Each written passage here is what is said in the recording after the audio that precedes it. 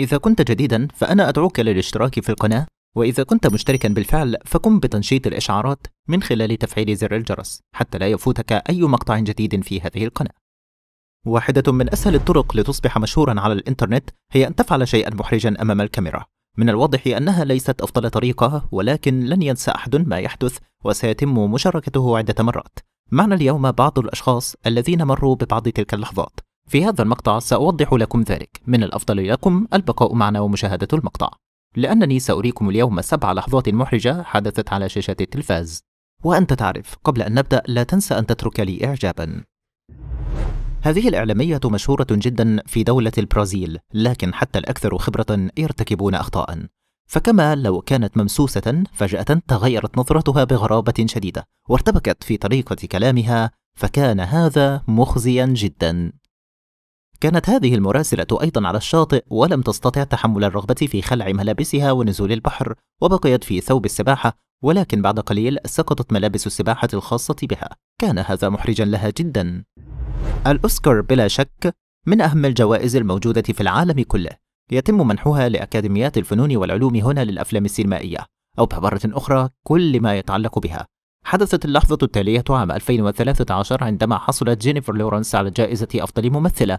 الآن هي لا تفضل تذكر هذا اليوم حيث حدث شيء كارثي بالنسبة لها فعند الصعود للحصول على الجائزة عن طريق الخطأ تعثرت وسقطت أمام العديد من الممثلين والعديد من المحطات التلفزية التي تبث فاعليات الاحتفال.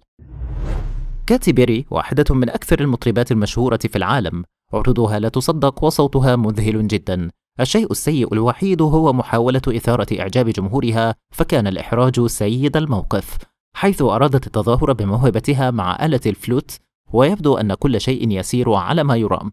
كان الجمهور متحمسا بفضل أدائها على الفلوت.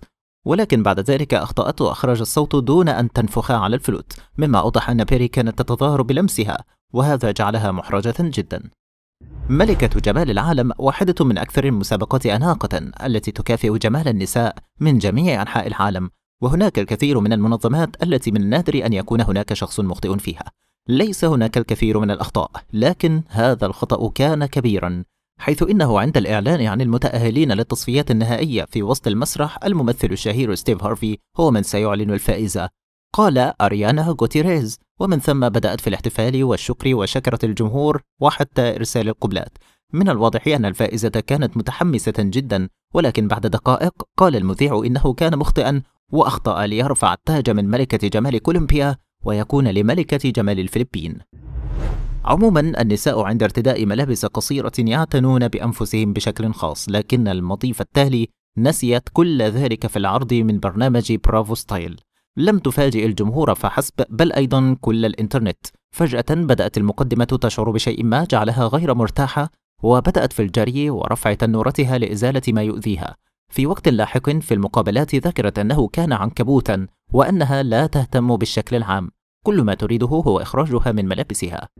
لا أعرف هذه الإعلامية أو مكانها أو حتى اسمها ولكن أصبحت معروفة جدا لعدم قدرتها على كبح الضحك أثناء تحدثها عن تهريب المواد المحظورة عند الإعلان عن الأخبار. لم تستطع التوقف عن الضحك على الرغم من جدية الأخبار التي تعرضها. Inspetores هذا كان كل شيء. أتمنى أن يكون المقطع قد نال إعجابكم. فإذا كان الأمر كذلك لا تنسوا الاشتراك في القناة والإعجاب بالفيديو.